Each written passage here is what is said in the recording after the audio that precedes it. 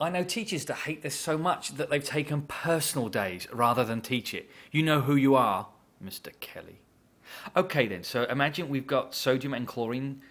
And if I take a sodium atom, oh, don't forget its electron, and a chlorine atom and bring them together, I've made sodium chloride solid. That's not particularly exciting. Now, let's break it up a little bit. Let me imagine taking an atom, not forgetting its electron, and taking it from the solid sodium and making it gaseous sodium. So I've atomized it. And now take that gaseous atom and rip off the electron. So that's the first ionization energy, isn't it? Now from here, I'm looking at the chlorine. Imagine I've ripped a chlorine atom off of a molecule to make chlorine gas. Again, I've atomized the chlorine. And now that atomic chlorine, I'm going to add that electron from the sodium. Whee! And it's stuck on there. And now from the sodium ion and the chloride ion, I'm going to take those and make sodium chloride solid. So there's a long, long, long-winded way to do this, and that is called the Born-Haber cycle. Let's look at two examples. So for the first example, we will try ye merry old sodium chloride. The IB loves this one. So looking at that equation, it's making one mole of the product from the elements in their standard state, sodium's a solid, chlorine's diatomic and a gas. That is called the heat of formation, delta HF. So that's the heat of formation for sodium chloride. Well, that seems easy, but there's a big space all the way above. So we're going to go around the really complicated way to break that process up into its component parts. First of all, the difference is that the sodium has turned from a solid to gas. So some people like to call that the heat of gasification, but not really. Vaporization? No, not really. Uh, it's atomization. That's the better one. So it's delta H atomization for sodium, making one mole of atoms from the element in their standard state. Next up, notice the sodium now has a plus one charge. And so that's, Uh, oh, and there's an electron as well. If you forget that electron, you'll lose a point. They love to take a point off for that. And by they, I mean me. So that's the first ionization energy of sodium, isn't it? Making one mole of gaseous monopositive ions from a mole of the gaseous atom. And finally, on this going up, increasing energy, plus, plus, plus, all the way up, the chlorine has gone from diatomic to atomic. So I've made a mole of chlorine atoms. Again, that's called atomization of chlorine to make one mole of atoms from the element in their standard state. So that's delta H. Oh, I forgot that delta H there. There we go. Delta H atomization of chlorine.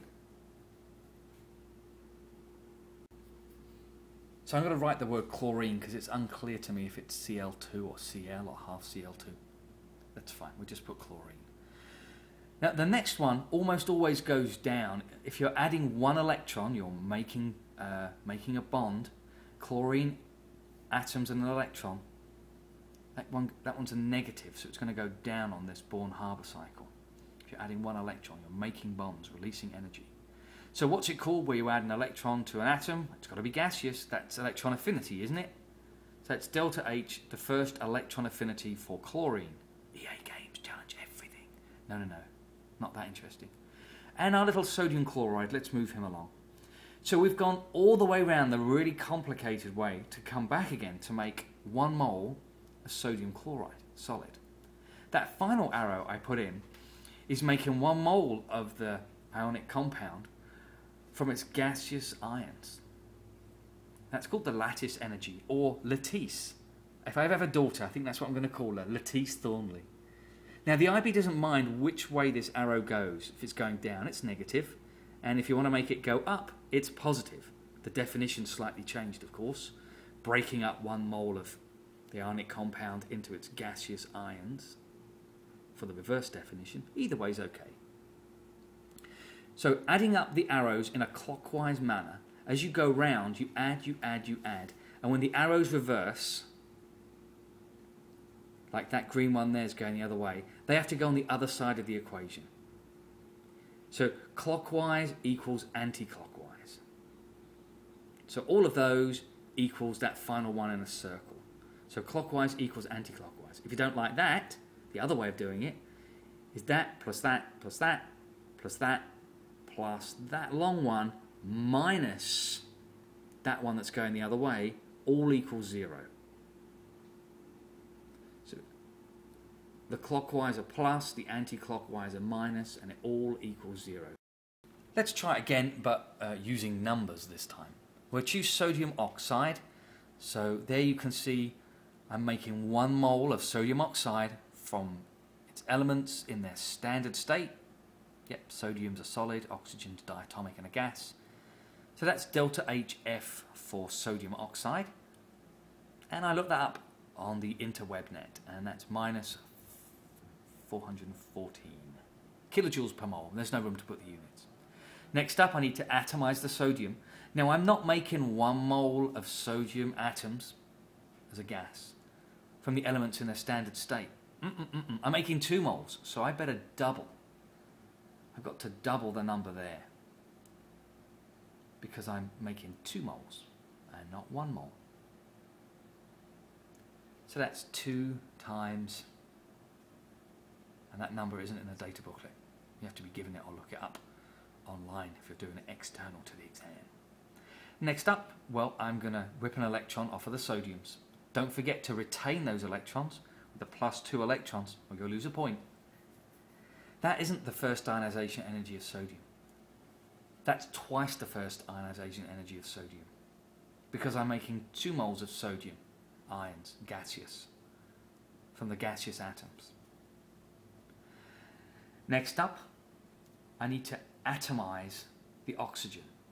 So I've got half of an O2 that I need. So I've got to make O. This is where the IB likes to play a little sneaky trick. Uh, but if you know it, then you won't fall for it. They could just give you the atomization value, or they could tell you to look it up in the data booklet. So let's take a time out. If you go to the bond energies, you can see the oxygen-oxygen double bond is 498 kilojoules per mole. That's the average bond energy. So it's 498. No, no, no. That's to break a mole of bonds. But when you break a mole of bonds, you make two atoms. I only want one atom. So I'm going to have to divide by 2, my 498. Let's just delete that. Oh, oh no, I've deleted... Oh, this is for. Oh, for. Oh. oh, thank God for Control Z. Alright then. Now, normally the next step is negative. The electron affinity, which is coming up next. Oh, hold on. Uh, bond energy of O2 divided by 2. That's it. We just said that. So the next step, normally it goes down. But I looked it up in the data booklet, and this one goes up just be aware that normally it goes down. Now, is that the first electron affinity and the second electron affinity of oxygen? Yep, and those are also in the data booklet. So I worked those out, it's 657. Now I can go all the way down. That long arrow is the lattice, or, well, actually, the lattice energy. I can't get lattice out of my head. It's making one mole of the ionic crystal from the gaseous ions. And that's the unknown. So let's try and work out this value. Clockwise, add them up, add them up, equals the anti-clockwise. That's one way you can do it. The clockwise values equal the anti-clockwise values. The other way you could do it is add, add, add, add, then minus the ones going the other way equals zero. So clockwise minus anti-clockwise equals zero. Either way, when you work that out, it comes out at minus 2526 kilojoules per mole, oh, capital J. This is the theoretical value. Obviously, it's theoretical. You, this is the, you, have used uh, lots of data booklets and looked stuff up. That's the theory value. Uh, the experimental value, if you did the actual experiment. And the next uh, assessment statement will explain what it means to have a theory and experimental data compared.